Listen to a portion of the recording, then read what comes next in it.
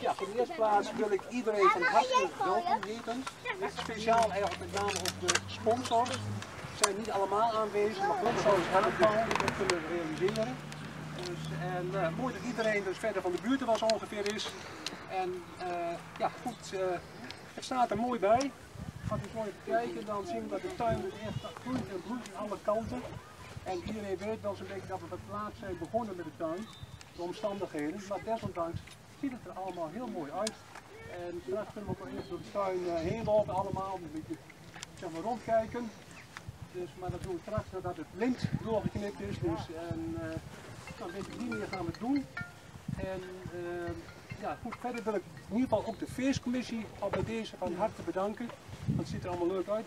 Zeg met ontvangst, met koffie en thee en lekkere hapjes en dingen. Dus nogmaals, feestcommissie geweldig. Dankjewel. Ja.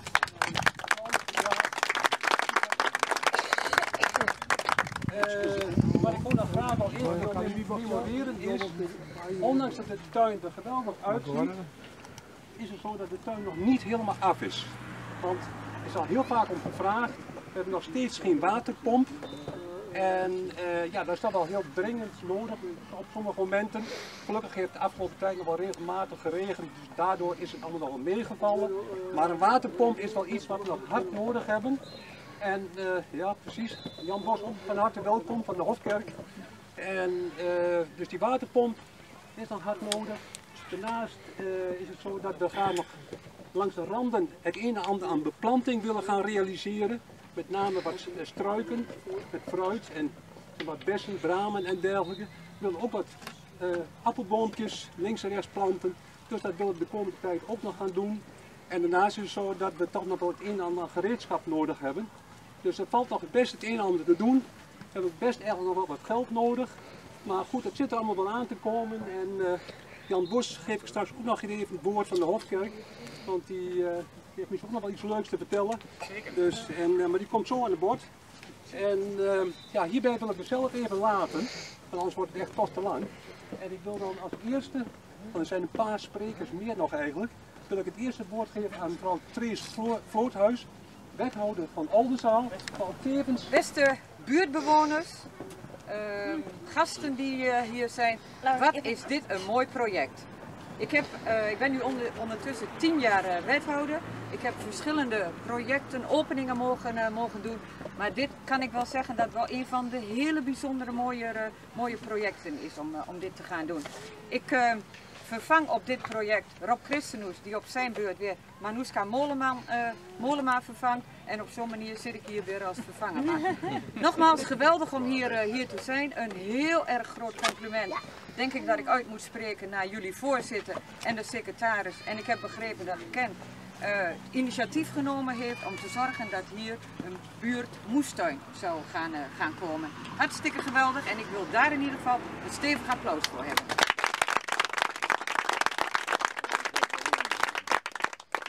Ik uh, zojuist even met, uh, met Henry uh, gesproken. Henry heeft mij heel kort uitgelegd van hoe het tot, tot stand gekomen is.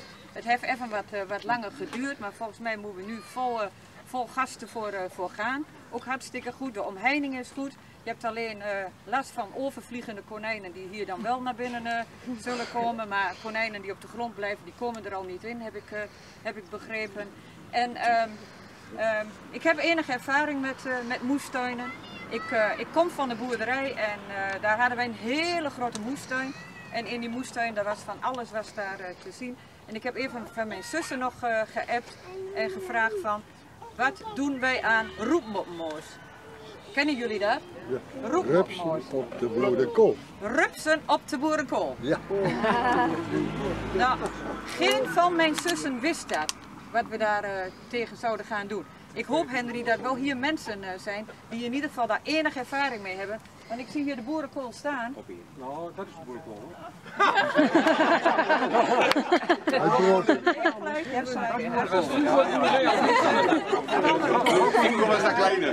Ja, ik ben er nog niet. Ik, uh, uh, dus volgens mij weten jullie prima hoe je daarmee mee om moet gaan. Ik heb in ieder geval omdat we hier verschillende gewassen in, uh, in gaan doen, een paar gewassen uh, zaden mee, uh, meegenomen. Ik denk dat het nu niet meer gezaaid kan worden omdat wij geen zomerse herfst zullen gaan krijgen. Ik schat in dat ons dat niet lukt. Wat ik wel weet is dat we volgend jaar een fantastische mooie zomer hebben met veel regen en zonneschijn. Want dat is heel belangrijk voor een uh, moestuin. Je hebt in ieder geval de witte kool zodat je hier de, uh, de boeskool, de boeskool, de boeskool ja, kunt ja, gaan ja, doen. Nou ja, en als tegenhanger doen we hier de bloemkool tegenaan. Dat is de witte kool.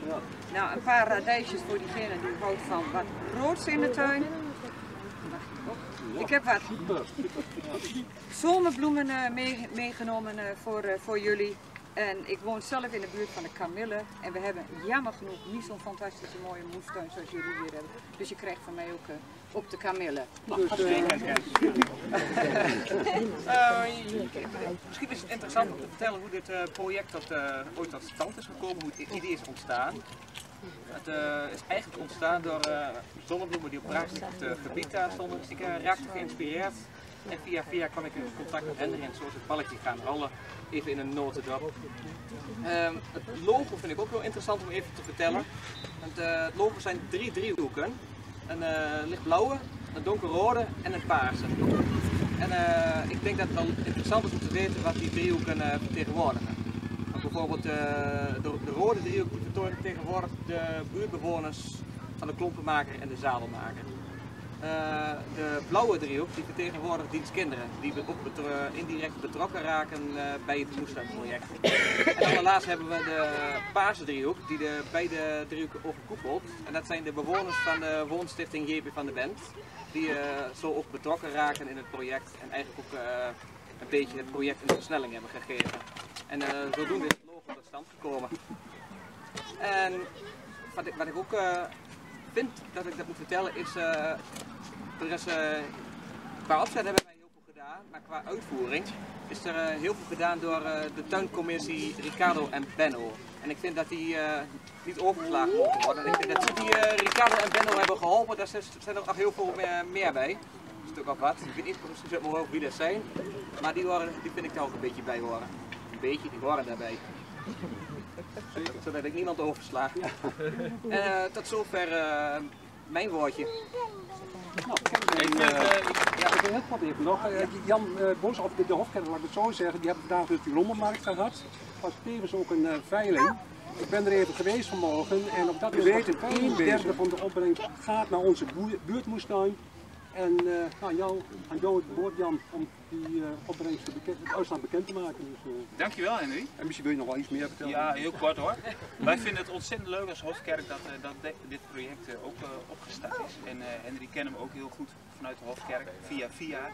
En um, in de Hofkerk proberen ook allerlei mensen bij elkaar te brengen, samenbindende plekken te zijn in de samenleving. En eigenlijk is dit ook precies hetzelfde wat wij willen. Dus een droom van een, een wereld waar mensen gewoon gelijk zijn en niemand de baas is. En samen uh, iets voor elkaar brengen. Dat, dat is onze droom. En Henry doet het op zijn manier en dat is heel inspirerend voor ons.